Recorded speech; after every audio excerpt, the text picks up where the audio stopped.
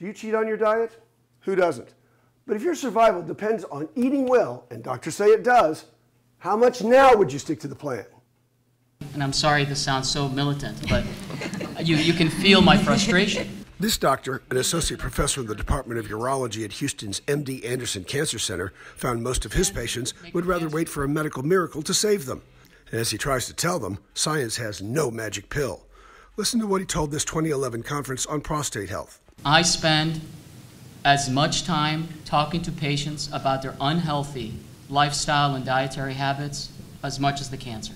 Fast food, fried food, lots of sugar, and other simple carbs. Dr. Matten says you just get a one way ticket to Seatown. We live in a culture that breeds cancer.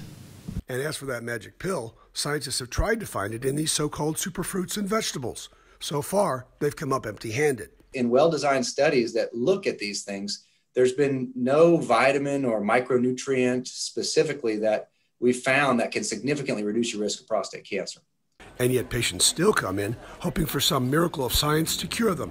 But as doctors will tell you, they have no cure. You can't make the cancer go away. And unfortunately, for most of you, those types of interventions are not going to make things turn around, but they may set you up to be healthier and stronger to handle whatever stresses the cancer and us may throw at you. He's right.